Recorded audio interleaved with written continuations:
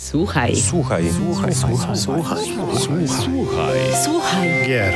Podcast sławiący kulturę muzyki do gier wideo. Dzień dobry, witam i dobry wieczór. Witam w kolejnym 51. odcinku podcastu Słuchaj Gier, oficjalnego podcastu portalu GameMusic.pl. Z tej strony wita Was Paweł Dębowski, a z drugiej strony A jak zawsze sympatycznie e, wasz e, wierny samuraj kłania się w pas e, Mariusz Borkowski. Cześć. jesteśmy świeżo po 50. jubileuszowym Kurczę, 50 lat. odcinku. 50 lat. 50, 50 lat. Nie no, Chciałbym. 50 po podcastów, ale powiem ci, że ten e, rok jak z bicza czasnął. Strasznie. 50 odcinków. Strasznie. Ja nawet nie zauważyłem, kiedy to minęło. Ale te naprawdę dotrwaliśmy tylko dzięki naszym wiernym widzom, słuchaczkom i słuchaczom, za co e, serdecznie z tego miejsca wam bardzo, ale to bardzo dziękujemy, że postanowiliście nas słuchać i jeszcze się nie znudziliście naszymi gło- głosami.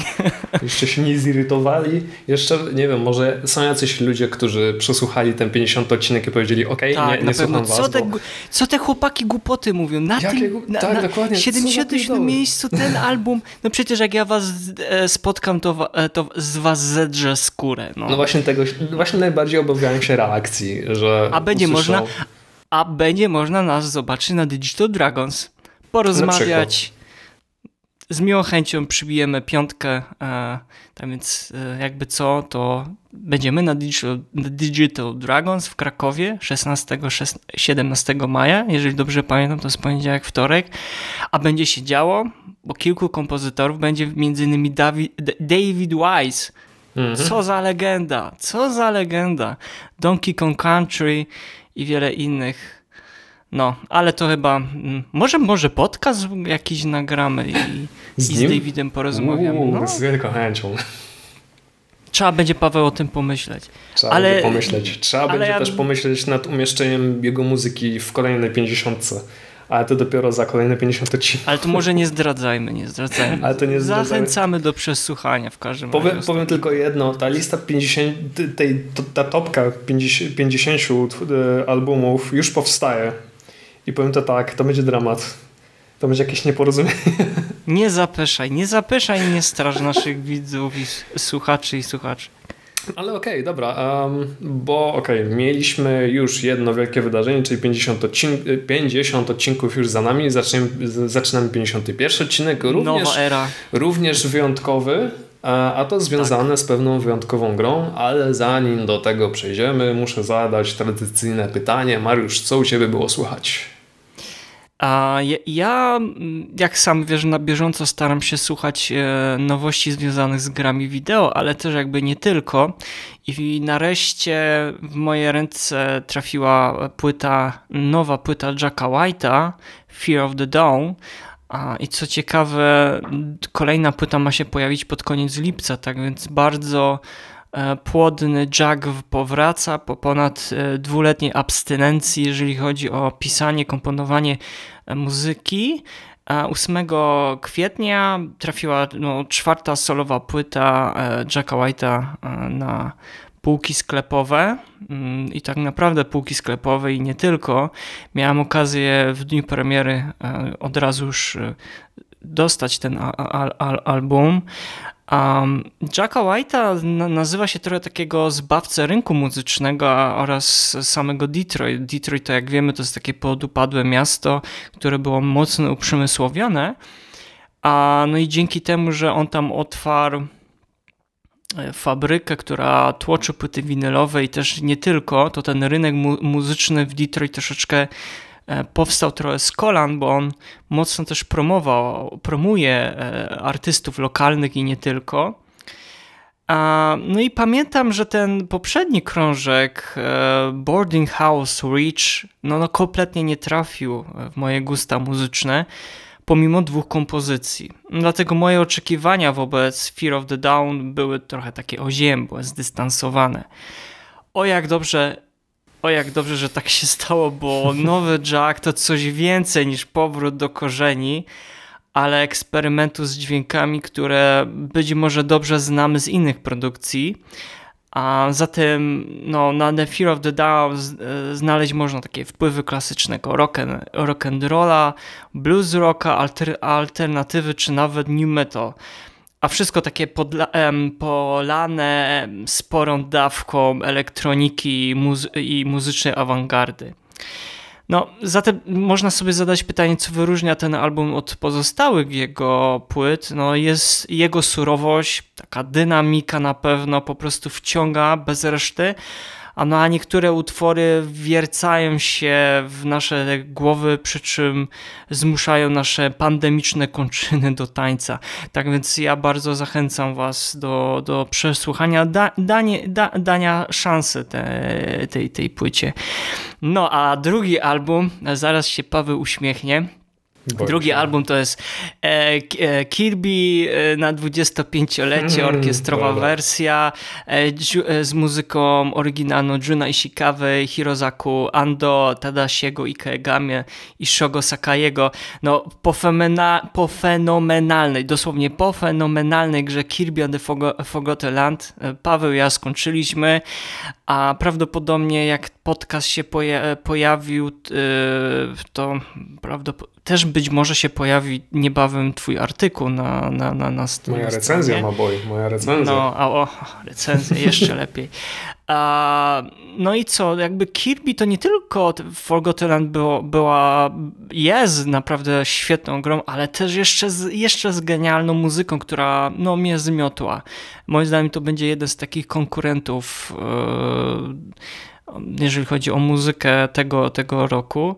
No i postanowiłem od razu poszukać jakichkolwiek ścieżek dźwiękowych związanych z sympatycznym, różowym, okroglutkim bohaterem. No i tak finalnie natrafiłem na nagranie koncertu z muzyką na 25-lecie Kirby'ego, gdzie tak oprócz tych oryginalnych utworów pochodzących z pierwszych odsłon gry, a mogłem usłyszeć też kompozycje w formie midlayów z tych odsłon ostatnich e, Kirby'ego. Sam koncert, jak i nagrania są takim powrotem do przeszłości i uroczych melodii osadzonych w magicznym, niewyjaśnionym uniwersum Kirby'ego. Album, album zdecydowanie polecam fanom gier. E, Pawle, a co tam się u ciebie kręciło na krążkach? Wiesz co, powiem to tak, jestem tak e, jeszcze w takim okresie poświątecznym, czyli jeszcze nadganiam różne zaległości. Chudniesz, tak? To, co się tam napchałeś, nachapałeś no, tak, dokładnie. Okay. dokładnie. A jeśli chodzi o muzykę, no to tak jak mówię, staram się nadrobić parę zaległości, ale też w pracy staram się mm, też przesłuchać, przesłuchać takiej playlisty, którą sobie utworzyłem na, na Spotify, takie na, na rozbudzenie. A, I tam trafiło, trafiły mi się e, dwa amerykańskie zespoły rockowe, których wcześniej w ogóle nie słyszałem, ale jak usłyszałem po raz pierwszy, nie pamiętam na jakiejś składance i mi się mega spodobała ich muzyka. Jeden z nich to jest e, Set It Off, to jest e, zespół pochodzący bodajże z Florydy, jeśli dobrze pamiętam. Mm, swoją działalność zaczęli w 2008 roku i to jest, taki, to jest taki zespół, który bardzo mi przypomina te wszystkie takie zespoły rockowe jak, e, nie wiem, Blink 184 e, na przykład. Tak? Taki bardziej, bardziej młodzieżowy rock niż, e, niż Red Hot Chili Peppers, ale do nich, do nich też akurat przejdę. A nie wiem, bardzo, bardzo mi się spodobała jej muzyka. Jest taka mm, radosna, może, może w ten sposób, ale jest, jest w nich po prostu coś takiego, co sprawia, że, że się gibam na, e, na, na krzesełku. A drugi taki zespół, i to, moja, e, to mój mały błąd, tak powiedziałem, że to jest amerykański zespół, oni to, tak naprawdę są z Kanady, to jest Rare Americans. A niech, niech nie, nie zmieni naz, nazwa. E, ten zespół naprawdę pochodzi z, z Kanady. I to jest świeżynka na rynku. Oni powstali w 2018 roku, ale już wydali trzy albumy, w tym e, dwa w ubiegłym roku. Rare Americans 2 i Rare Americans 3, James Boy and the Screwless e, Zoo.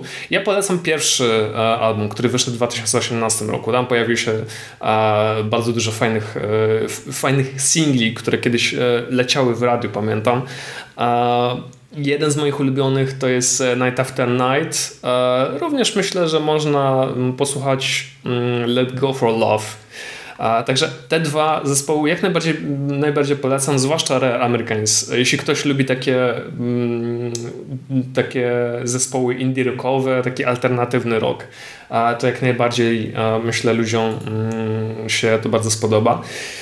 Przesłuchałem też nowy album Red Hot Chili Peppers, bo oni tak wypuszczali e, no, a tylko twój, pojedynczo. To jest ulubiony zespół zresztą. To jest mój ukochany zespół, to jest mój ulubiony, ukochany zespół e, i nie przepuszczę żadnej okazji, żeby e, posłuchać ich muzyki. Oni wcześniej wy, z nowego albumu wypuszczali jakieś single, jakieś pojedyncze utwory, ale w końcu wypuścili również cały album. E, mm, jakby to powiedzieć?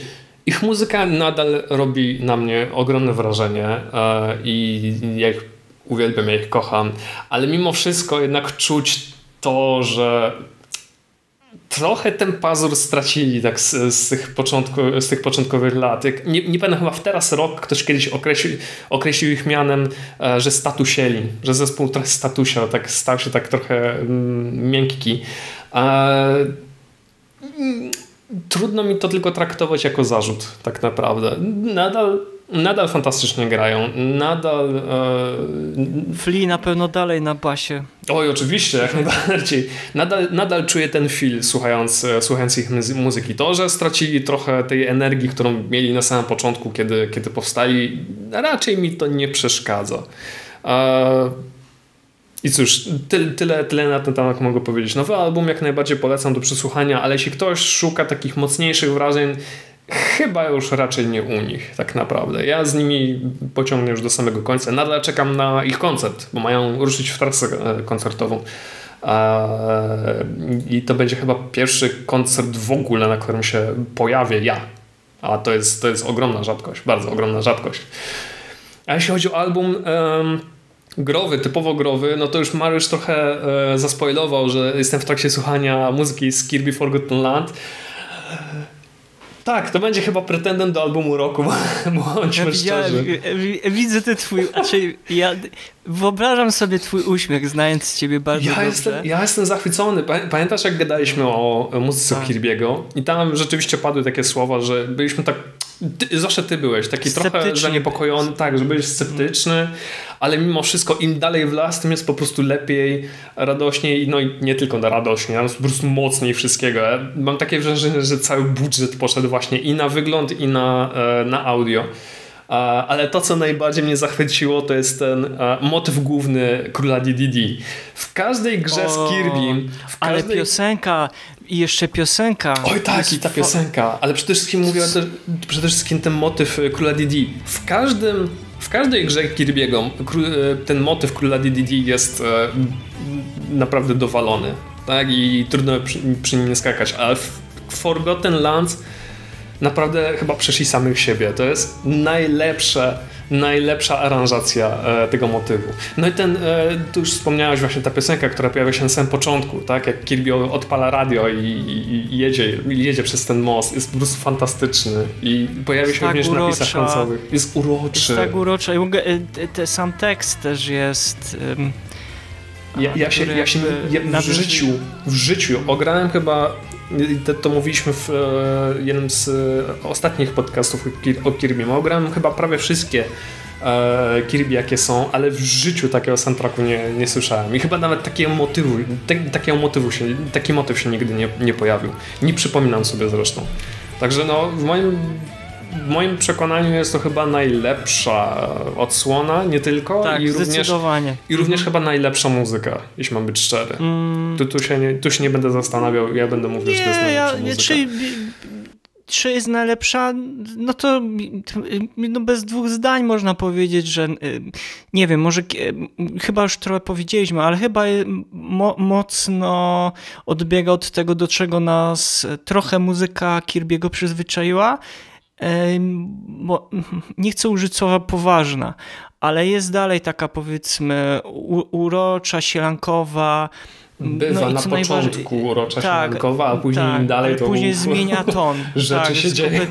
Tak, później zmienia kompletnie ton i pamiętam jeszcze, co najważniejsze, że nawiązuje trochę do klasyki, także kompozytorzy nie zapomnieli o tym, że tych źródeł, skąd się wywodzi też ta, ta, ta muzyka, tak, bo ten temat, tak, no ale, temat ale, moż, ale, można, ale można powiedzieć, że ta część Kirby'ego w pewien sposób e, wywraca do góry nogami e, to, co znaliśmy wcześniej. To nie jest jeszcze taka rewolucja, jak było w przypadku Breath of the Wild, bo tam to już wszystko e, postawiono do góry nogami, ale tu trzeba powiedzieć, że postawiono naprawdę poważny, poważny krok naprzód i jestem zadowolony z tej zmiany i mam nadzieję, że, że pójdą jeszcze dalej.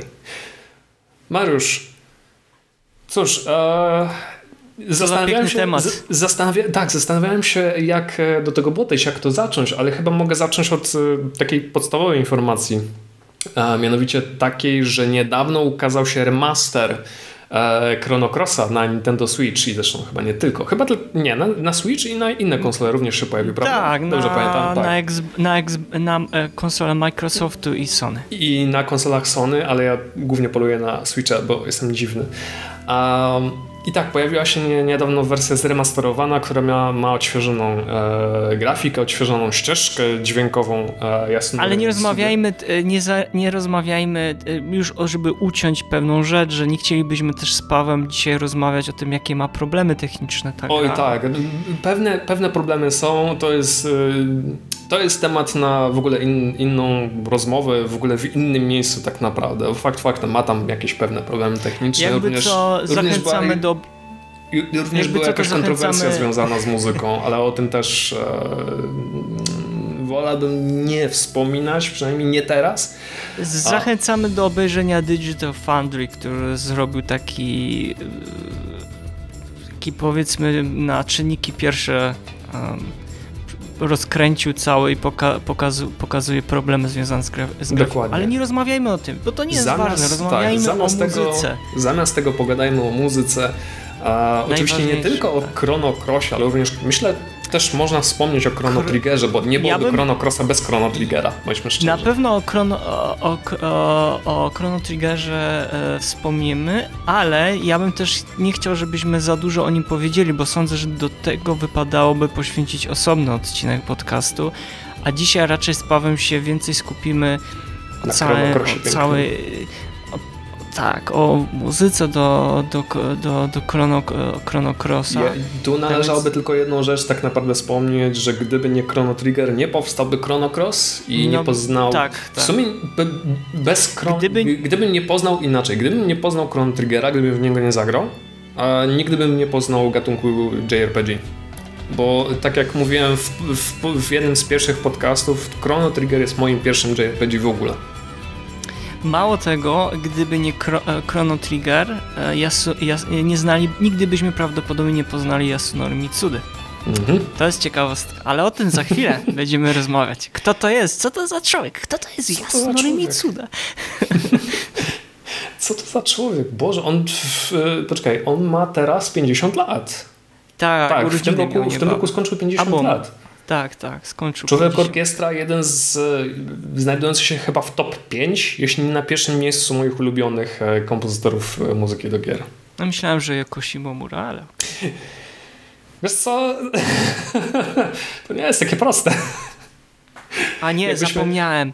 A, zapomniałem. Kompozytorzy, którzy są odpowiedzialni za muzykę do Jakuzy. Wiesz co? Zawsze musimy świecić o Jakuzie. Wiesz co? Wiesz co, spadaj, powiem to tak. Dobrze, dobrze. A, dobrze, zaczniemy, co co za zaczniemy, zaczniemy od um, podstawy podstaw. E, Chrono Cross, słuchajcie, gra, która wcześniej e, w 1994 roku ukazał się Chrono Trigger na konsoli Super Nintendo Entertainment System. E, lata później, dokładnie w 1999 w Japonii, w roku 2000 na konsoli PlayStation ukazała się mm, gra autorstwa e, firmy Squaresoft, nazywała się Chrono Cross i była ona, nie wiem czy to nazwać bezpośrednią kontynuacją Chrono Triggera? No, znaczy, w pewien ja bym sposób... jeszcze w pewien ja sposób bym, chyba tak. Ja bym jeszcze dodał, że ta gra tak naprawdę, czyli Chrono Cross nigdy nie ukazał się na rynku europejskim, aż Dokładnie. do e, jakby tej premiery, która miała wznowie remaster, jak nie wiem jak to można naz remaster, nazywać. Remaster.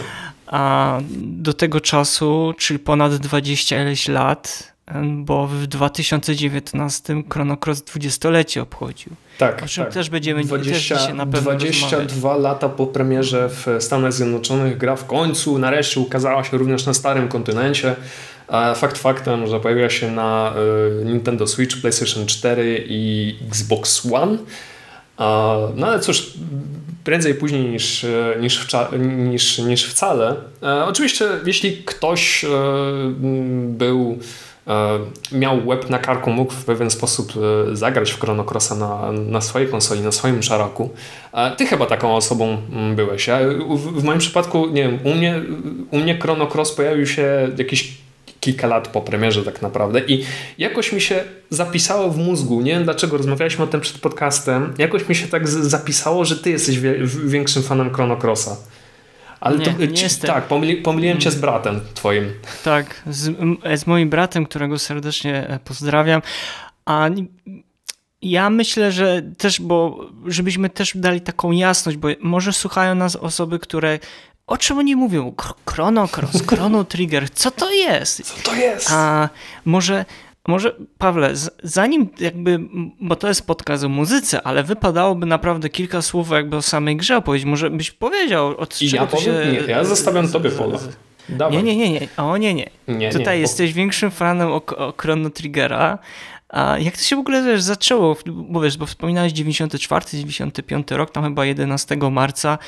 E, Co to była za, za gra? Dlaczego stała się taka e, re- rewolu, rewolucyjna? No i, i po tym powiedzmy, co to było, co to znaczyło dla samego kompozytora Yasunori y, Mitsude w obrębie kilku następnych e, lat. Mhm.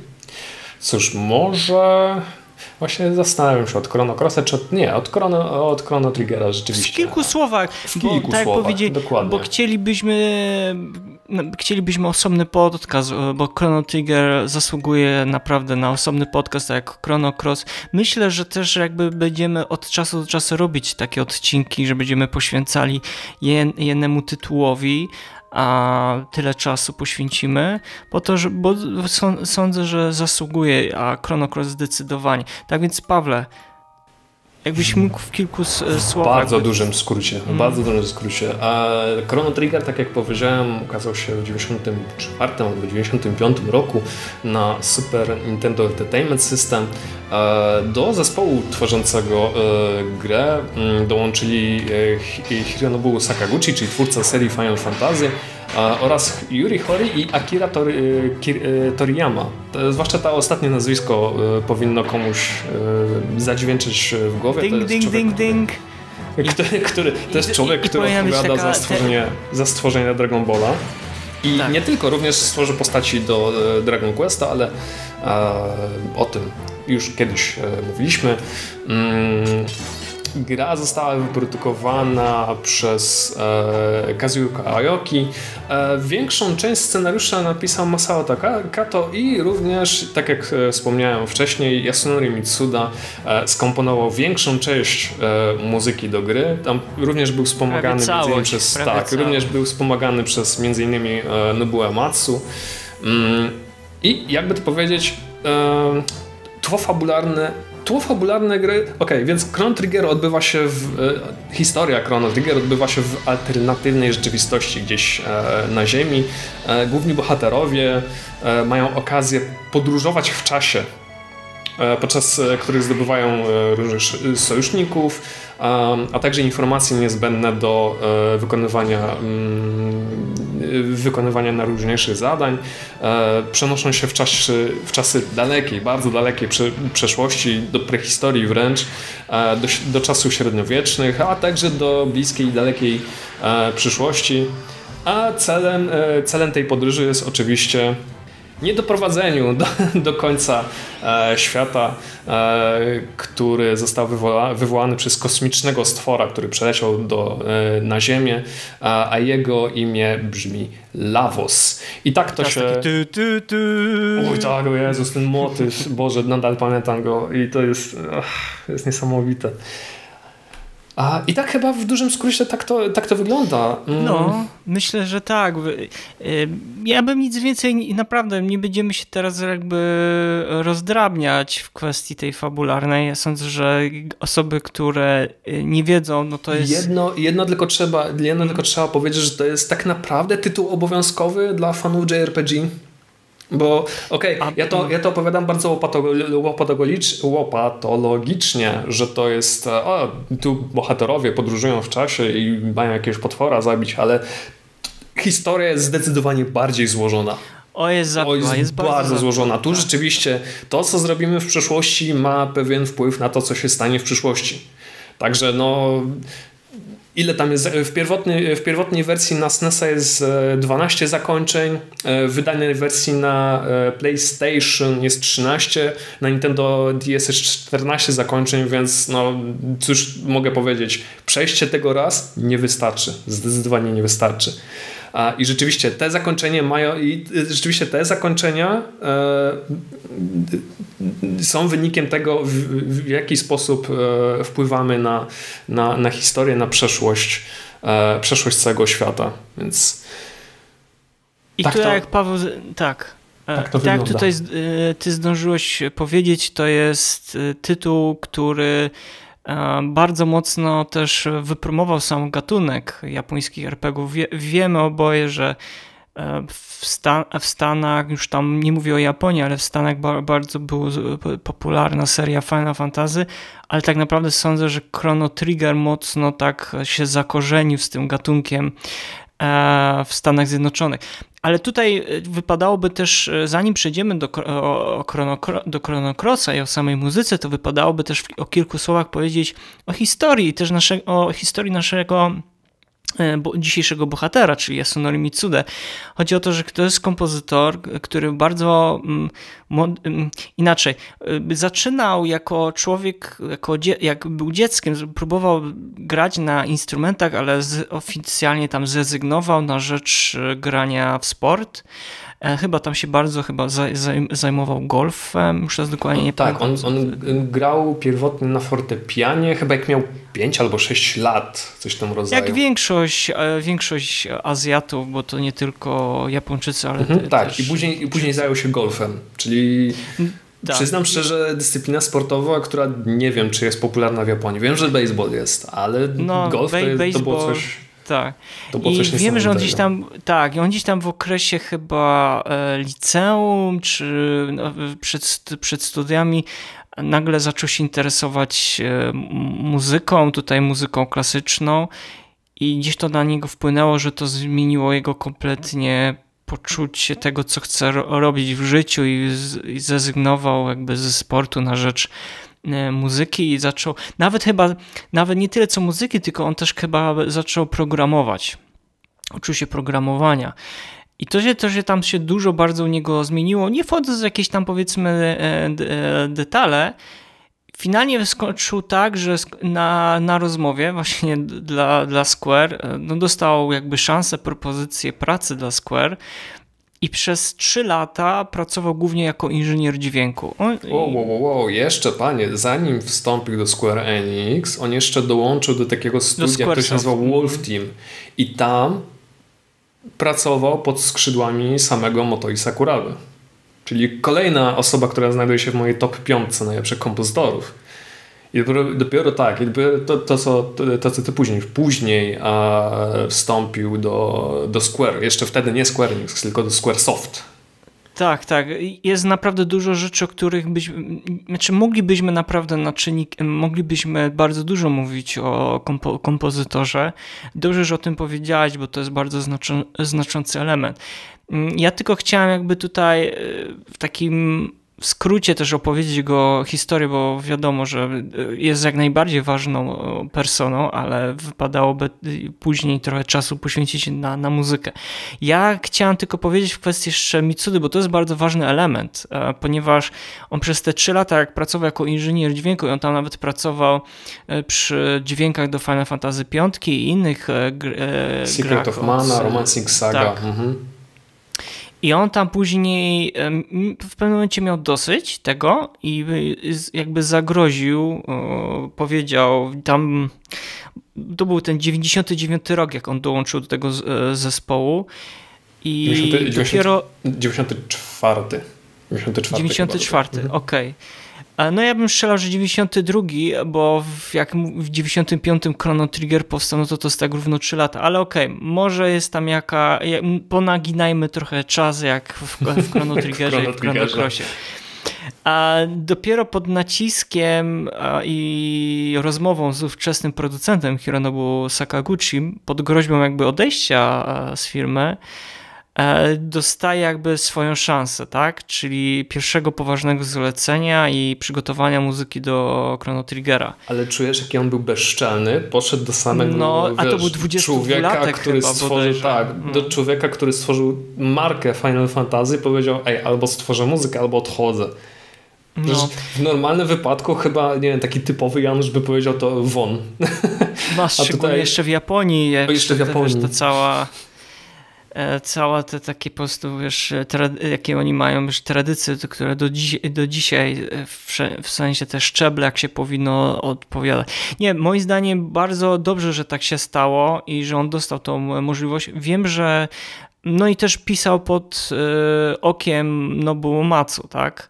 Mimo wszystko te, te utwory. I pamiętam, że był taki czas, że on jeszcze był jakoś chory, on tam poważnie zachorował i jeszcze w chorobie pisał. E, tą, tą, tą, muzy tą muzykę.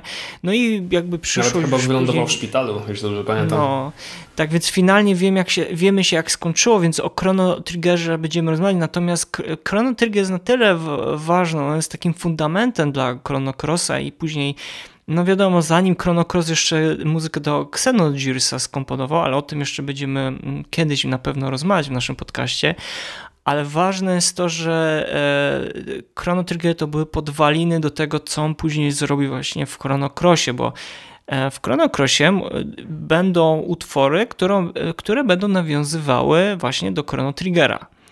A nawet temat, temat tej planszy mapy świata, tej pierwszej, czyli Homeworld, E, jest tam słychać nawet e, te, temat nawiązujący do Chrono Triggera. Tak więc to były podwaliny i dzięki temu e, kompozytor mógł zaistnieć. Gdyby nie Chrono Trigger, to prawdopodobnie byśmy nie usłyszeli później o Xeno, muzyki do Xenogearsa i jego autorstwa, a co dopiero do Chrono Crossa. Nie wiadomo, czy w ogóle by Chrono Cross po, powstał, gdyby nie Yasunoro Mitsuda. Znaczy, ale o tym powstał, ale muzyka, nie, nie mam bladego pojęcia, kto mógłby się zająć tak naprawdę stworzeniem muzyki. Kto stawiałbyś na y, Umatsu? Nie, nie. Może Shimomura? Nie, moim zdaniem jest co, z całym szacunkiem do wielu znanych wtedy pracujących kompozytorów, yy, Hiroki Kikuta ewentualnie, czyli od mhm. Secret of Mana, ale sądzę, że co jest ważne, albo jeszcze o jednej rzeczy zapomniałem. Dobrze się nawet tak złożyło, to są takie moje osobiste przemyślenia, że te przez te trzy lata on pracował jako inżynier dźwięku, bo on się dzięki temu doskonalił w opracowywaniu takiej metody, jak dobrze można i jak można było skompresować tak utwory na konsoli, na przykład Sony PlayStation, czy nawet Chrono Triggerze, tak żeby ta muzyka brzmiała bardzo nowo, wiesz, nowocześnie i żeby um, właśnie po dwudziestu iluś tych latach ona brzmiała tak jakby, nie wiem, była napisana dzięki dzisiejszej, dzisiejszej technologii, dzisiejszego samplowania. Naprawdę ta muzyka brzmi dzisiaj, mimo tych 20 lat, mówi, mówimy tutaj o Chronocrossie teraz, fantastycznie brzmi. Nawet pod kątem jak, jak, jakościowym. Ona się Ale dobrze, nie zastarzała, ale to o tym za chwilkę. Tu jeszcze jedna ważna rzecz do podkreślenia. Pamiętajcie, że jeśli chodzi o Chrono Triggera, mówimy o 16-bitowym SNESie, i to jest to, co podkreślaliśmy wielokrotnie, że to była raczej słaba maszyna, więc trzeba było się naprawdę wysilić. Ograniczenia wszystkie. O Jezus, tak, mm. wykazać się niesamowitą wyobraźnią, jakie dźwięki mogłyby tam się zmieścić przede wszystkim. I to, że udało mu się te, dźwięki, te wszystkie dźwięki nie tylko zmieścić, ale również wydobyć z tego małego chipa, który znajduje się w konsoli, no to jest potężne wyzwanie. A, I później mieliśmy przejście na e, PlayStation, która jest zdecydowanie mocniejsza od SNESa, ale nadal posiada pewne ograniczenia. Ale mimo to jeśli posłuchacie sobie dzisiaj muzyki z Chrono Crossa, no to ci, którzy nie znają tej gry, mogą być e, zdziwieni, że taka muzyka w ogóle mogła powstać i można było ją e, przesłuchać w tej grze. No ale właśnie, mm, przechodzimy z Chrono Triggera do Chrono Crossa, tam wcześniej I tu mówiłeś... Jeszcze tak, tak, jeszcze, jeszcze pozwolę sobie na jedno wcięcie. I to jest bardzo ważna rzecz, że przechodzimy do Chrono Crossa i w momencie, kiedy Chrono Cross powstawał, mhm. Yasunori Mitsuda już nie pracował dla Tak, on był freelancerem wtedy. Tak, on w wieku 27 lat y, odszedł, y, jeżeli dobrze pamiętam, tyle miał lat, odszedł od Squaresoftu z myślą o tym, żeby założyć swoją własną firmę. On tam chyba, nie wiem czy to się od razu zdarzyło, chodzi o Prokian Studio. Nie wiem czy to się od razu wydarzy, wydarzyło, bo nie pamiętam, ale wiem, że on z taką myślą odszedł, żeby być freelancerem. No i mm, troszeczkę to do, dobrze na tym wyszedł, ponieważ e, jak pisał muzykę do Chrono, e, Chrono Crossa, e, zachował prawa większości autorskie do, do tej muzyki. Tak, a to, będzie mia, to będzie miało wpływ na jego późniejszą karierę, bo no. muzyka z Chrono, Chrono, Crossa, Chrono Crossa zwłaszcza słuchamy ich dzisiaj, do dzisiaj na różnego rodzaju koncertach i to też jest bardzo ważne. No ale właśnie, mamy mamy chrono, przechodzimy z Chrono Triggera do Chrono Crossa i tu jest ważna e, rzecz, bo nie pamiętam czy to wspomniałeś czy nie, ale w Chrono Triggerze udało się usłyszeć takie mm, celtyckie melodie. I, te, i, i, i ta muzyka celtycka, celtycka W Chrono Crossie czy w Chrono Triggerze? W Chrono Triggerze udało się gdzieś mm. z, z, zabrzmieć. Oj, nie do końca bym się chyba zgodził z tym. Może, może in, inna, inne słowo, innego słowa szukam. Może źle się wyraziłem. Um, ale, ale, ale słuchać, że to nie jest taka typowa, y, y, że to nie jest taka typowo japońska muzyka. Że ona bardziej, że ona bardziej odnosi się do takich e, klimatów, no nie wiem, może europejskich. Wiem do czego zmierzasz. Ma naleciałości y, ty, tą gatu, e, gatunkowo taką zachodnią, tak? Tak, ale... tak, tak, tak, tak. Ale w przypadku, ale w przypadku, w przypadku Chrono Crossa to poszło w jeszcze inną stronę, bo Mitsuda skoncentrował całe swoje wysiłki, żeby mm, wprowadzić do gry takie klimaty z rodem ze Starego Świata. Wiesz, to Morze Śródziemne. E, słyszymy tam zresztą również e, muzykę właśnie tą celtycką, fado, e, czyli taki gatunek, który powstał w, w Portugalii w XIX wieku na przykład, tak? albo takie klimaty z, śródziemnomorskie. Czyli to już jest zupełnie inny kierunek e, niż to, co można było słyszeć w Chrono, w Chrono Triggerze. Ale no, to jest akurat związane z, ze światem same, samego Chrono Crossa.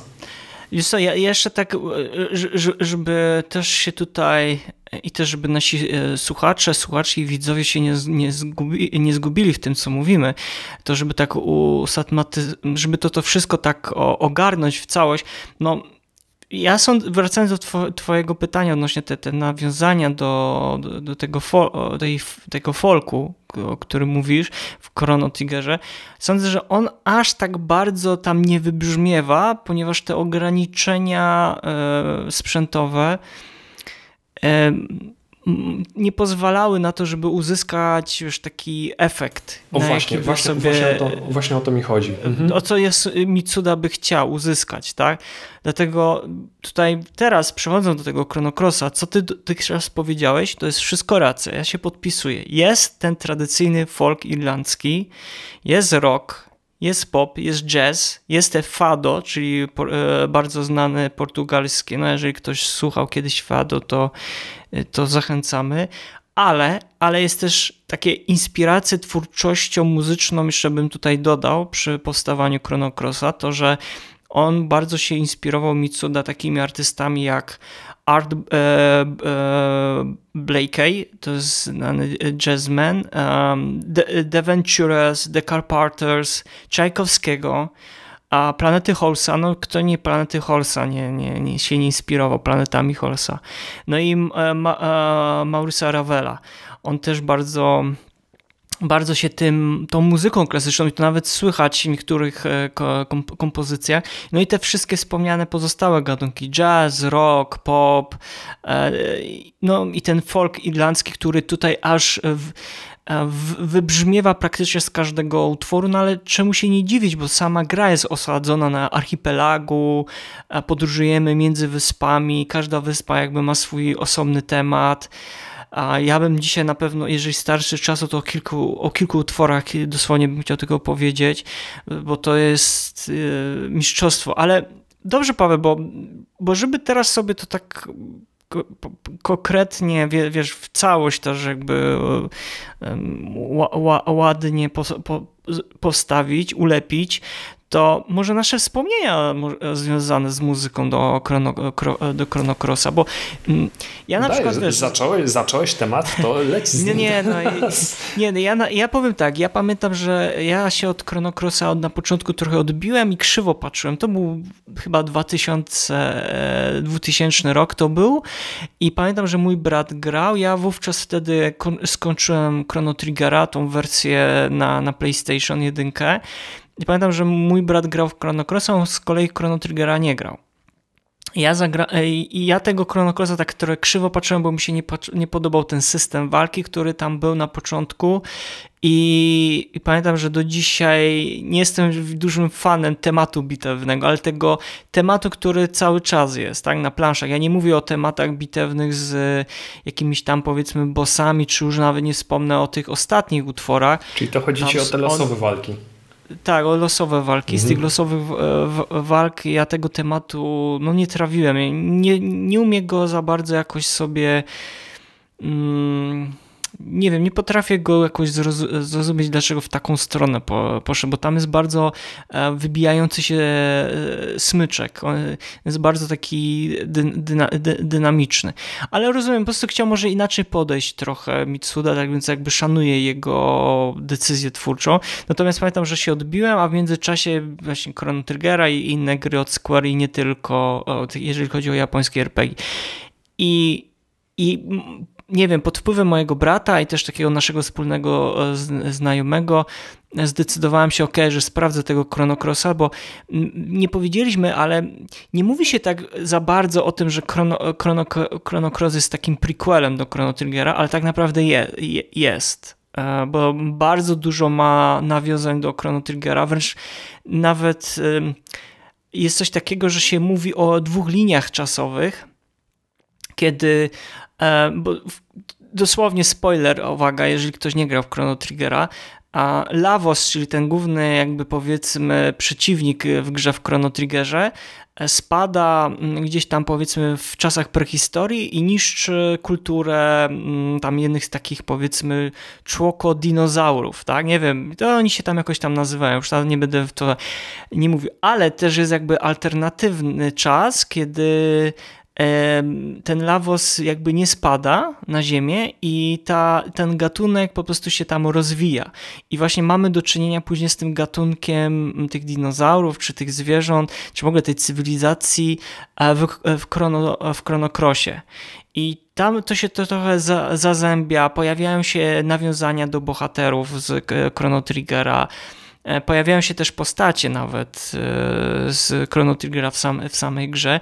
Tak więc jakby nie patrzeć, e, te dwie gry mają bardzo ze sobą dużo wspólnego. Ja pamiętam, że jak pierwszy raz w to grałem, a pamiętacie, to był 2000 rok, ja nie wiem ile miałem wtedy, 15, może 16 lat.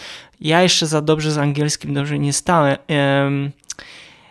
i nie wszystko rozumiałem, tak? A wtedy pamiętajmy, że te japońskie RPG były wybitne pod kątem, może nie wszystkie, wiadomo, ale były wybitne pod kątem scenariusza, dialogów. I tu, tu, nie były tu, inflantywne. Tu jedna, tu jedna rzecz do wtrącenia, to tłumaczenie na angielski Chrono Crossa no, nie było najlepsze. No nie pamiętam, było najlepsze. Był, miałem, pamiętam, że miało mnóstwo błędów, ale no. Nawet gdybyście znali jak angielski, no to, wtedy, tak. Jak ja, prawie no, większość tych gier. No. no. jakbyście znali super angielski, to jednak będą takie, no, byłyby takie kwiatki. Ale nie były, nie, ta gra nie była inflantywna, e, jak w przypadku niektórych teraz japońskich gier, które mnie troszeczkę odpychają niestety. a może nie wiem, zestarzałem się już pod kątem, już na tyle się już w życiu ograłem tych gier, że japońskich szczególnie, a tutaj RPGów, no to trochę mam inne, inne poczucie, jakby już teraz um, estetyki, na co już inaczej patrzę. Ale chciałem tylko oddać, za chwilę ci oddam Paweł głos i u mnie pamiętam było takie, że u mnie ze mną było z tą grą, że bardzo później pozytywnie o niej się wypowiadałem o Chronocrossie, mimo tego, że wielu rzeczy nie zrozumiałem po jej skończeniu, ale muzyka, muzyka mi tak utknęła w pamięci. Może ja nie uważam się za jakiegoś tam powiedzmy wielkiego fana e, tej, tej muzyki. Bardzo ją lubię, bardzo ją szanuję. Wolę zdecydowanie oczywiście Chrono Triggera, ale no to też może też związane z tym, co zawsze mówimy. To wszystko zależy od tego, w jaką pierwszą grę zagrasz, tak? Jeżeli bym zagrał może w pierwszy e, w, w, chrono, w Chrono Crossa, to może bym trochę inaczej patrzył na niego. Niemniej jednak u mnie w skrócie to tak e, wyglądało. Paweł, a jak z, to, z tobą, jeżeli chodzi o te twoje pierwsze, pierwsze No tak jak, tak jak powiedziałem, z Chrono Crossem po raz pierwszy miałem do czynienia jakieś kilka lat dopiero po premierze. Nie pamiętam w jaki sposób e, zdobyłem grę. Prawdopodobnie była to spiracona po prostu wersja. Ale chyba podobnie jak u ciebie się trochę odbiłem. Nawet nie tyle chodzi mi o o system walki, bo też rzeczywiście jest, jest, jest, jest dziwny, ale przede wszystkim trochę się zgubiłem w fabule. Wtedy, Ona jest wtedy, jeszcze wtedy... bardziej zawiła niż Chrono Trigger. O Jezus, e, tak, ale e, wiesz, jedna rzecz, e, tu jeszcze, e, jeszcze była ta kwestia językowa, no mój angielski też nie był jakiś, jakiś taki e, idealny. Wysokich miałem, lotów. Ja miałem kilkanaście lat, podobnie jak ty, też, też, też miałem z tym potężny problem, chociaż wiesz, jak grałem na przykład w Chrono Triggera, czy jakieś inne wcześniejsze JRPG, no to ja jakoś tam potrafiłem, wiesz, trzy po trzy coś zapamiętać, no nie, i i przypomnieć sobie jakieś, jakieś słówka i połączyć się ze sobą. Tak w przypadku Chrono Crossa no miałem pewne, pewne problemy. Um, i rzeczywiście pamiętam ten motyw, motyw bitewny. Ja, jeśli, dobrze, jeśli dobrze wszyscy wiedzą i wszyscy mnie Yy, wszyscy pamiętają to co, to, co, to, co mówię i wszyscy ci, którzy mnie znają, ja uwielbiam motywy bitewne w JRPG-ach i to jest rzecz, na którą zwracam szczególną uwagę, ale w Chrono Crossie to jest to, co ty mówisz, że jest e, jakaś nieadekwatna do obrazu. No, jakoś mi się nie spodobała. Ale, ale nie z tych losowych walk. Ale z tych losowych z tych walk. Losowych walk z tych losowych. Z tymi bossami było naprawdę świetne. Było Już naprawdę. było lepiej. Tak, ale... było, było lepiej, ale te losowe walki było takie, a co? Why? Dlaczego? I wróciłem do Chrono Crossa jakieś kilka lat później. Już wtedy mój angielski był znacznie lepszy. E, I momentalnie przypomniałem sobie, zwłaszcza te, te same początki gry, i jakoś przeszedłem tę grę. Nadal nadal y, strasznie będę krytykował fabułę, która jest mega zawiła i, jest skomplikowana i jeśli nie robicie sobie jakichś notatek albo nie wiem, nie daj Boże, zrobicie sobie przerwę na pół roku i wrócicie do tej, do tej gry po pół roku, no to nie zrozumiecie, co, co, co się tam dzieje. Nie, nie będziecie mieli tego pojęcia. Natomiast jeśli chodzi o muzykę, w mojej pamięci tak naprawdę wiercił się motyw główny. Motyw y, pojawiający się na samym początku gry, na samym początku gry, jak ją uruchamiacie i ten, y, ten flet, który się pojawia. Ta gitara, na której gra e, Tomohiko Kira. Scars of Time. O Jezu, Scars of Time, mm. wszystko, wszystko tam jest przepiękne. To jest mój ulubiony motyw. Chyba drugi, jeśli, jeśli chodzi o muzykę z intro, to jest chyba drugi po e, motywie z Wild Arms, z pierwszego, z pierwszego Wild Arms, który który polecam każdemu. A najzabawniejsze jest to, że ten utwór trwa niespełna chyba 3 minuty, a ma wszystko, co, co, co mm, wszystko. To jest taka, musi taka mieć jedna utwór wielka, tak. otwierający tak. grę. Hmm. Dokładnie. Jest, jest tam wszystko, co, co powinno być i jest w pewnym sensie takim zapowiedzią tego, co można usłyszeć w całej grze. Tak, on tak chyba to pokazuje. Mhm. Mhm. Zwłaszcza A wiesz, folkowość taki... się wy, wypływa z niego wręcz. Z Dokładnie, ten folk, te właśnie te, te, te, te melodie celtyckie, ten cały w cudzysłowie stary świat, o którym wcześniej wspomniałem, pojawia się w tym utworze i już mniej więcej miałem obraz tego, co można usłyszeć w samym soundtracku. I rzeczywiście to jest to, co ty, to, co ty mówisz. Jeśli miałbym taką jedną rzecz rzeczywiście e, powiedzieć, taką naprawdę pozytywną o tej grze, no to jest przede wszystkim muzyka Mitsudy. To jest przede wszystkim soundtrack. To jest coś, co po prostu e, pojawia się w twojej głowie i po prostu no, trudno, trudno żeby, żeby uciekła. Jest w niej taka, mm, ja będę powiedzieć, jest, jest, jest malownicza. To jest chyba odpowiednie słowo. Jest, jest, jest bo nawet, nawet jest taka plansza, nie wiem czy pamiętasz, taka plansza w grze, że, że nasz bohater ląduje w takiej estetyce trochę obra o, mhm, obrazu tak.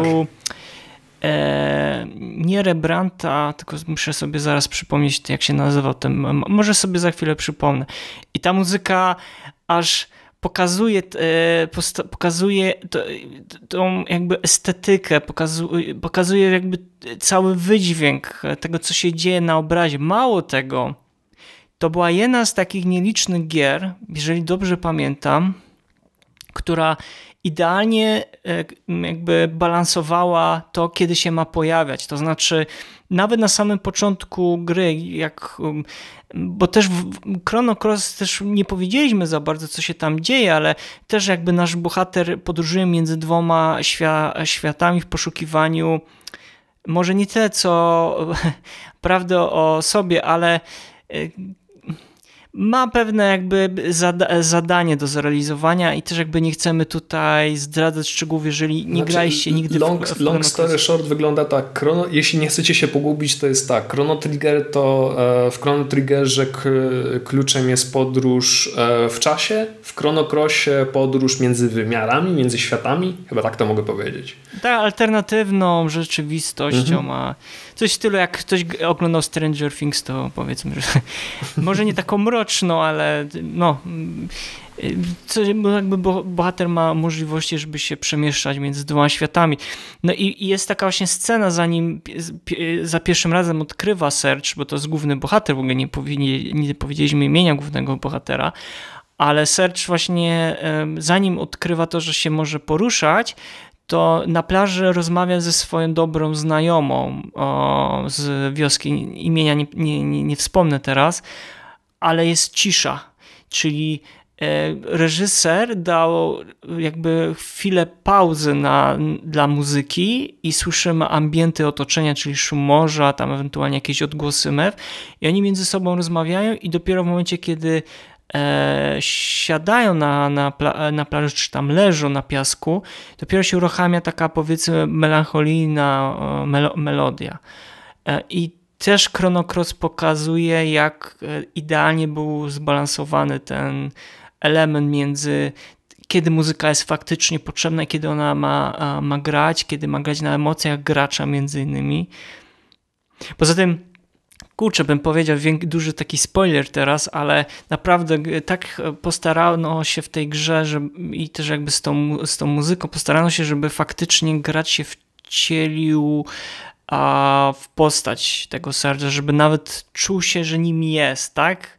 Bo to później, no, jak skończycie grę, to będziecie wiedzieli o co znaczy, chodzi. Taka, taka jest chyba też duża różnica między Chrono Crossem a Chrono Triggerem, bo w Chrono Triggerze masz, masz muzykę w zasadzie przez całą grę, i ona, no wiadomo, dotyczy mo motyw, który akurat gra gdzieś e, na słuchawkach, dotyczy konkretnej planszy, konkretnej sytuacji itd. Tak itd. Tak w przypadku Chrono Crossa widać, że już Square potrafi w reżyserię. Wie, gdzie i która muzyka ma pasować i wie, gdzie tej muzyki ma nie być. Żebyście się poczuli, no jakbyście oglądali trochę film. Chyba tak, chyba tak, chyba tak mogę powiedzieć.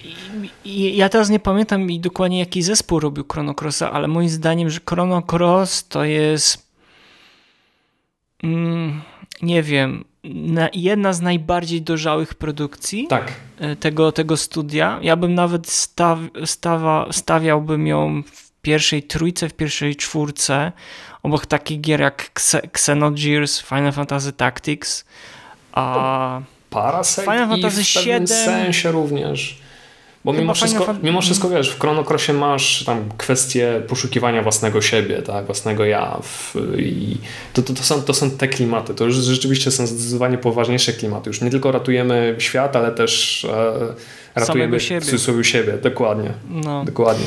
E, dobrze, Pawle, e, żeby jakby dalej, dalej jakby ciągnąć ten temat muzyki, e, jak z swojej perspektywy powiedz mi, bo też się zastanawialiśmy, jak się przygotować do tego podcastu, bo jednak w godzinę 15 minut rozmawiać, rozmawiać o tak bardzo jeju, albumie, który stał się dla nawet kolejnych pokoleń taką inspiracją stania się kompozytorem muzyki do gier, gier wideo ale na przykład z twojej, z twojej takiej, z twojej perspektywy, dlaczego muzyka do Chrono Cross nadal nas tak czaruje, mimo blisko już 23 3 lat, ponad już 23 Wiesz, lat. Ja się, ja się nad tym zastanawiałem, bo szczerze, jeśli miałem być zupełnie szczery, ja w życiu nie pomyślałem, że muzyka z Chrono Crossa będzie taka eksploatowana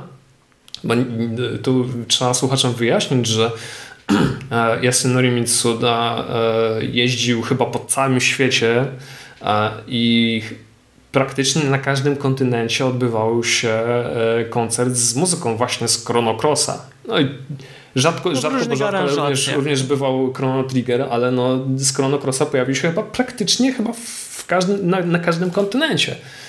A ja się, tak ja się tak powoli zastanawiałem, kurczę, ale dlaczego? Ale co się stało? Czy, czy nie wiem, ja rozumiem Final Fantasy, tak? Ja rozumiałbym jeszcze właśnie Dragon Questa ewentualnie, mimo że nie jest tak bardzo, aż tak bardzo popularny, nie był aż tak bardzo popularny na zachodzie, tak jak w Japonii, ale mimo wszystko dalej bym widział koncert z Chyba, że miesz byśmy mieszkali we Francji, bo we Francji jest bardzo Dragon Quest popularny. Oj tak, Dlaczego? Oj tak. Z względu Jeśli... na Akira Toriyamę, bo z kolei we Francji jest bardzo popularna seria seria Dragon Ball, w ogóle wszystko co Akira na przykład, przy którym Dokładnie. Przy czym robił. No.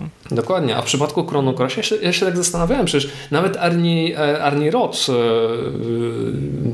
e, prowadził, prowadził również takie koncerty. Ja się zastanawiałem, kurde, dlaczego? Co jest w tej, w tej muzyce takiego, że ludzie, ludzie lgną do tej, do tej muzyki? Wiesz, 22 lata minęło, Widzę zapowiedź e, Chrono Crossa na, na Switcha i na, na dzisiejsze konsole i ludzie, wiesz, zwariowali, no nie? I, i widzę te wszystkie artykuły, te wszystkie filmy mówiące o tym, że a, Chrono Cross, no fajna gra, ma pewne wady, no nie? Tam nie patyczkują się, rzeczywiście zdejmują czasami te różowe okulary i mówią, że posiada pewne wady, posiada pewne takie nieścisłości, zresztą te fabularne, że no nie jest aż tak idealne, jakbyśmy, jakbyśmy sobie to e, wyobrażali, ale mimo wszystko ludzie no, świrują. Ludzie oczekiwali, oczekiwali tej gry, zwłaszcza muzykę. Ja pamiętam, jak pojawiła się ta, e, ta wieść o tym, że w grze będzie, w grze będzie dostępna e, odświeżony, odświeżony soundtrack e, Mitsudy, no to pamiętam, że e, ludzie również u nas, czy na Facebooku, czy na Discordzie po prostu zwariowali, tak, że mózgi po prostu e, wybuchły, kiedy się, kiedy się o tym dowiedzieli. No później jak się okazało, to Square Enix trochę trochę popełnił mały faux pas w swojej komunikacji, no ale o tym, o tym już, już mówił, mówił nie będę. Odsyłam Was na stronę, jeśli chcecie się dowiedzieć, co się takiego zdarzyło. Jakbym miał na to patrzeć z takiej perspektywy, powiedziałbym to tak, że ludzie darzą dużą estymę muzykę z Chrono Crossa, ponieważ przez długi czas drugiej takiej ścieżki dźwiękowej ze świecą szukać. Chyba takich, takich motywów e, w cudzysłowie baśniowych, tak, tak, jak, tak jak wcześniej to, to, to określiłem, E, naprawdę trudno szukać w jakiejkolwiek innej grze, e, zwłaszcza w, w gatunku JRPG. Tak? Ty mówiłeś o tym, że e, współczesne tytuły JRPG są trochę bardziej infantylne i muzyka do nich również jest taka no, nie każdy zasługuje, zasługuje na uwagę. Pozostawia tak? wiele do życzenia. Bo zostawia wiele do życzenia, dokładnie. Nie, I bywa naprawdę dziwnie. W przypadku Chrono Crossa próbowałem sięgnąć pamięcią E, do wszystkich gier, jakie grałem, jakikolwiek e, JRPG, w jakiekolwiek grałem przez te 20 e, ponad lat i naprawdę trudno mi było znaleźć drugi taki soundtrack. Bo wiesz, mamy na przykład taką świeżynkę jak Octopath Traveler, gdzie muzyka była bardzo różnorodna, mieliśmy orkiestrę potężną, tak? To już nie były jakieś e, MIDI. Mieliśmy muzykę, no nie wiem, z Final Fantasy XV, gdzie widać było, że Square Enix nie żałowało kasy. Um, ale to nie był, to nie był Chrono Cross. Mimo wszystko to nie był Chrono Cross. Mm, ta muzyka e, posiada pewne emocje, których po prostu inne soundtracki nie posiadają. I one wywołują u, u, u, słuchacza, u gracza pewne, e, pewne emocje. Widziałem, jak ludzie słyszeli ten motyw główny w, na jednym z trailerów, to po prostu zwariowali. E, I widać to było na czacie, że byli po prostu zachwyceni. E, widziałem te ich reakcje, kiedy usłyszeli te, te, te, te zremasterowane kilka, kilka utworów, które miały się pojawić, czy nawet się pojawiły w tej No ja piskam jak mała wersji. dziewczynka. Dokładnie. Także ja się przez pewien, przez pewien czas tak, ja się, ja się tak zastanawiałem, się tak, ja się tak martwiłem i myślałem, czy nie wiem, może to ja zgłupiałem, może to ja się zestarzałem, ale jak, jak, pogłę, jak pokopać trochę, trochę głębiej, popytać trochę ludzi, no to widać, że, że ludzie stawiają pewien znak równości właśnie między muzyką i grą. Bo gra rzeczywiście może mieć pewne wady, może fabuła mieć pewne nieścisłości, może być zawiła i tak dalej. Ale myślę, że muzyka to jest coś, co w pewien sposób e, ich przyciąga do tego tytułu. I gdyby jej zabrakło, albo nie wiem, powstała, powstała e, nie wiem, jakaś generyczna melodia, e, to trudno mi powiedzieć, czy Chrono Cross miałaby, miałaby taką rzeszę fanów na całym świecie. Mhm. Ja się te, ja, ja powiem tak. Um ja zacznę od tego, że moim zdaniem Chrono Cross jest bardzo takim niedocenionym e, produktem, mhm. E, w sensie grą. Nie jestem w stanie teraz powiedzieć, w ilu egzemplarzach się finalnie to, to sprzedało, ale sądzę, że on nie zdobył takiego statusu, jaki Chrono Trigger miał. I też problem jest z tym, że znaczy Chrono Trigger też bardzo późno do Europy dotarł, tak oficjalnie, bo dopiero się wiemy, że na, na konsoli chyba Nintendo DS dopiero tak oficjalnie, bo nawet na wersji PlayStation chyba finalnie tego, tej gry nie, nie, nie było. Wiem, że tam była załączona z Final Fantasy chyba 4, e, chyba 5 czy coś takiego, ale to była chyba taka wersja tylko dostępna w, w Stanach Zjednoczonych i w Japonii. Natomiast tak oficjalnie Chrono, Tri Chrono Trigger się dopiero pojawił chyba e, w Europie na Nintendo DS-a, a z kolei Chrono Cross nigdy nie doczekał się takiej oficjalnej premiery. Ja sądzę, że to jakby nie wiem, to jest tak samo, które jak z Xenogearsem, że Square w pewnym momencie się trochę, nie wiem, wstydził albo może nie tyle co wstydził, ale nie chciał inwestować za bardzo dużo pieniędzy e, w produkcję i nie wiem, wydawanie tych tytułów, nie wiem, na, na, na Europie, w Europie. Zresztą prawda jest taka, że ja nie wiem do końca, jak to jest, czy faktycznie ten, oprócz takich bardzo znanych mainstreamowych tytułów, czy ten gatunek japońskich RPGów e, jest mocno taki popularny w Europie. Ciężko mi to ocenić. Może ktoś robił takie badania, z miłą chęcią bym się z nimi zapoznał. No ale wiemy, że statystyki w Polsce są miażdżące, jeżeli chodzi o popularność tego gatunku. Ale jakby nie odbiegając od głównego wątku, mm, ja pamiętam, że z, Dlaczego, właśnie ty też słusznie zauważyłeś jedną rzecz, że ludzie bardzo tak energicznie za, zareagowali na, na wieś, na temat tego, że będzie, będzie Chrono Cross, tak? Ale się zastanawiam, ile z tych osób grało w tę grę, a ile z tych osób na przykład nie grało, ale zna bardzo dobrze, dobrą muzykę, e, bardzo dobrze zna tą muzykę.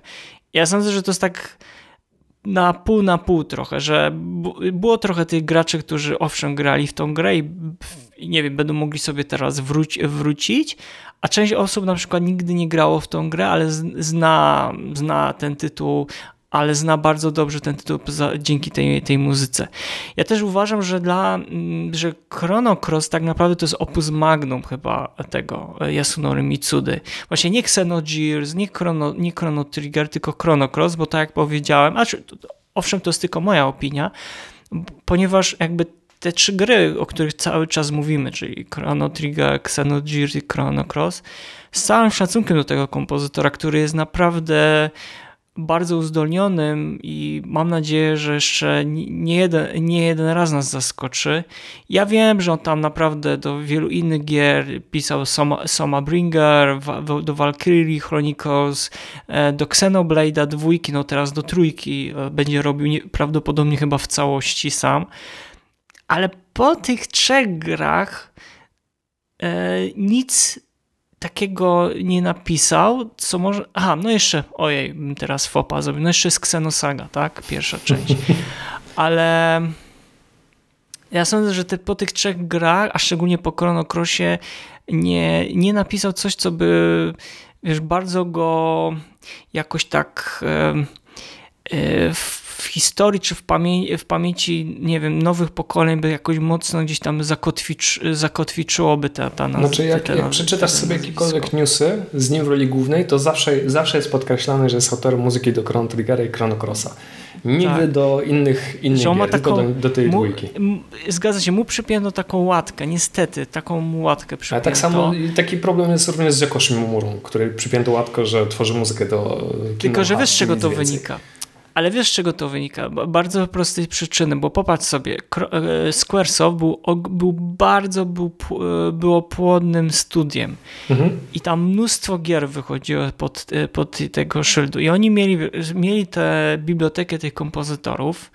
Oematsu się tam bardzo długo, długo trzymał, ale Mitsuda go ubiegł i po tym na przykład też się mocno zmienił rynek japoński pod kątem gier wideo. I wiesz, niby kompozytorzy byli freelancerami, ale jednak te studia mieli in-house swoich tych kompozytorów i woleli na przykład z nimi współpracować. Ja sądzę, że z jednej strony Mitsuda dobrze zrobił, że odszedł, ale z drugiej strony ciekawe by było, jakby jeszcze został w tym studiu i jakie by miał jeszcze szanse, żeby mógł wiesz, napisać muzykę do innych e, tytułów, które na przykład teraz e, bardzo dobrze znamy. No więc to jest inny, oddzielny temat na inną, inną dyskusję. No to, wiesz, ja jeszcze pamiętam w 2019 roku, jeszcze przed tym, przed czasem pandemii, tam jeszcze jakby tak wrócę dwa czy siedem lat wstecz, no miałem ok okazję zobaczyć koncert z Symphony Fantasies w, w Kolonii, to był chyba 2009 chyba rok, e, to 2000 albo 2009 albo 2011, już teraz z głowy nie, ale gdzieś w okolicach tych lat, to zobaczyłem mm, koncert symfoniczny, który był takim, mm, nie, była, była to symfonia, ale to nie była symfonia polegająca na tym, że utwór po utworze był grany, tylko że był, był, był ten, um, leciało mi teraz słowo, a e, taki jakby suita to była i tam było ładne połączenie między tym Chrono Triggerem i Chrono Crossem pokazujące właśnie to, jak bardzo zbliżona do siebie jest ta muzyka. I wiadomo, tego, tej, tej folkowości tam za bardzo nie było, bo to wszystko było przez e, orkiestrę i pamiętam, że to wszystko ładnie brzmiało ale do, w 2019 z moim bratem w Japonii mieliśmy okazję być na, na koncercie, który rozpo, e, jakby otwierało po części trasę koncertową e, Chrono Crossa z muzyką. I, on, i tam na przykład e, Mitsuda już zaprosił na przykład multi-instrumentalistów, z którymi pracował między innymi przy Krejdzie, tak, to był album poświęcony Xenogears, tylko takim bardzo klim, folkowym klimacie i dopiero na tym koncercie e, byłem w stanie poczuć się jak w domu. To znaczy te wszystkie aranżacje przygotowane i zaproszeni muzycy dopiero pokazują dopiero pokazało to, czym jest Chrono Cross, w sensie muzyka Chrono Crossa na żywo, że to jest energia niespożyta, że jest to muzyka, która bardzo porusza, też e, we, wewnętrznie i muzyka, która jest takim powiedzmy e, ponadczasowym językiem, bo muzyka też jest jakby po części jakby takim językiem e, tego czasami czym wtedy jak się kompozytor czuł, jak pisał dane, dane, dane melodie. I to pokazują naprawdę utwory takie jak nie wiem, sobie tak z pamięci, już tutaj wiadomo wspomniany Scars of Time, ale The Bring of the Dead, czy nawet fenomenalny Shadow Forest, e, Viper Manors, e, nie wiem, Ford Dragonia, czy Tedeci, Tower of e, Gedeon, czy ba Bound by, by Fate. Już nawet nie wspomnę o Magical Dreamers, Wind, Star and the Waves, czy The Gear Who Stole the Star. E, dla mnie po prostu je, muzyka do Chrono Crossa nie tyle co jest wspomnieniem związanym z tą historią, którzy, którą przeżyłem grając w, sam, w samą grę, ale jest takim troszeczkę przeżyciem trochę duchowym, bym to powiedział. I sądzę, że to, że muzyka jest tak bardzo znana, to, że ona jest po prostu, bo, bo, tam jest bardzo dużo w tej muzyce nawiązań do różnych gatunków. I niezależnie od tego, czy ktoś słucha więcej, mniej jazzu, czy więcej rocka, czy popu, i wielu, czy tam właśnie tej, takich instrumentów folkowych, znaczy w tej powiedzmy e, tego tradycyjnego takiego folku irlandzkiego, to coś tam dla siebie potrafi znaleźć. I myślę, że to jest takim dużym sukcesem tego, tego albumu, ta różnorodność, różnorodność gatunkowa, a ten język, który Mitsuda tam jakby wkomponował i skomponował tą, tą muzykę, e, pozwoliło to, mu to, że ta muzyka stała się bardzo ponadczasowa. Mimo tego, że już się nie pisze takich, e, takich, takiej, takiej muzyki, bo wszystko zależy od produkcji. I to, że Chrono Cross był, bo jest grą wybitną, a pozwoliło e, Mitsudzie no, zainspirować się tą historią, stworzyć zarówno wybitną muzykę.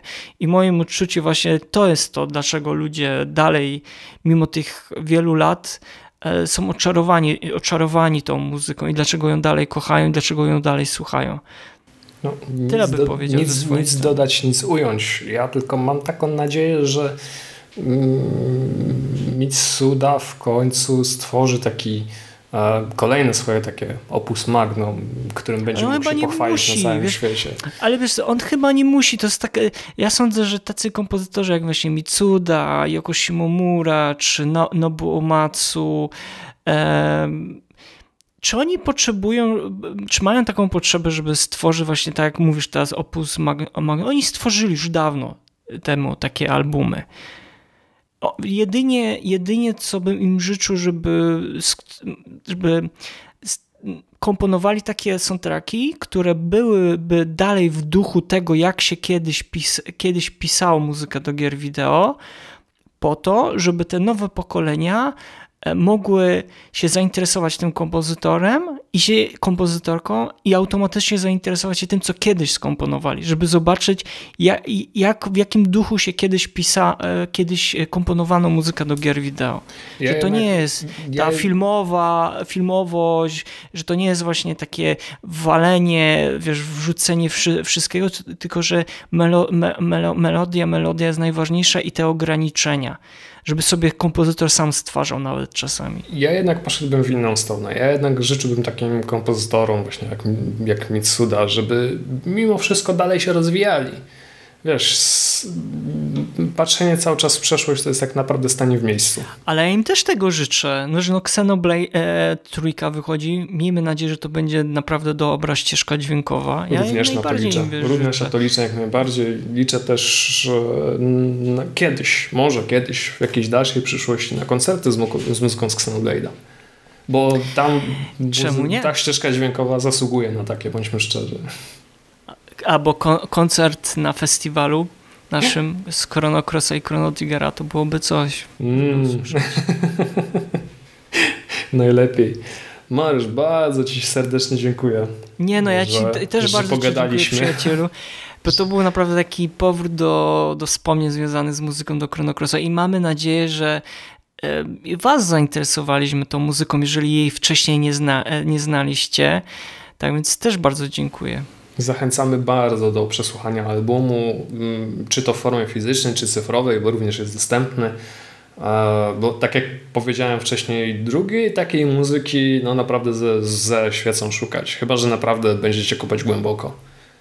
Ale to jest, ale to jest naprawdę takie trochę mission impossible, przynajmniej z mojej perspektywy. Słuchajcie, bardzo Wam serdecznie dziękujemy za dzisiejsze e, przesłuchanie dzisiejszego e, odcinka. Tradycyjnie za- zachęcamy do subskrybowania nas na YouTubie, zostawiania łapek w górę, również w dół, jeśli Wam coś nie pasuje. Komentarzy. Komentarzy, do klikania w dzwoneczka, dokładnie. Do subskrybowania nas na Spotify, Apple Music, SoundCloudzie, gdzie my jeszcze jesteśmy. Prawie wszędzie Prawie można wszędzie. nawet w lodówce znaleźć. W lodówce jesteśmy, dokładnie. Także bardzo Wam serdecznie dziękujemy. Zapraszamy również do dyskusji e, na portalu gaming.pl, również na nasz Discord. Tam się różne rzeczy dzieją. Również, również fajnych rzeczy, e, również fajnych ludzi można, można spotkać, także fanów JRPG, jeśli e, ktoś szuka kogoś do, do, do wspólnych rozmów, może do wspólnego grania. A tymczasem to był 51. odcinek podcastu Słuchaj Gier, oficjalnego podcastu portalu GameMusic.pl. Z tej strony żegna Was Paweł Dębowski, a z drugiej strony nostalgicznie e, Wasz wierny samuraj, jak zawsze kłaniający się w pas, Mariusz Borkowski. Do zobaczenia, do usłyszenia w następnym odcinku. Słuchaj. Słuchaj. Słuchaj. Słuchaj. Słuchaj. Słuchaj. Słuchaj. Gier podcast sławiący kulturę muzyki do gier wideo.